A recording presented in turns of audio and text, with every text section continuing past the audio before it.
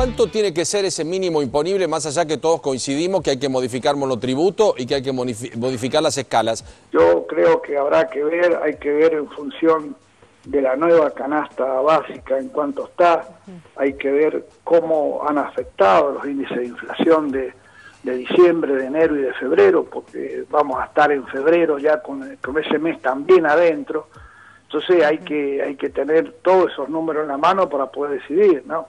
Salario. ¿Es 30 mil o más a esta altura?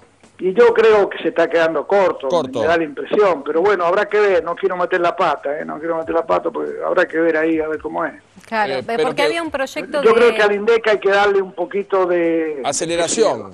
De, vivarachol en, concentrado para que se apure un poco y para que tengamos números. Yo creo que tendría que empezar a ver números, ¿no? Sí. Diarioregistrado.com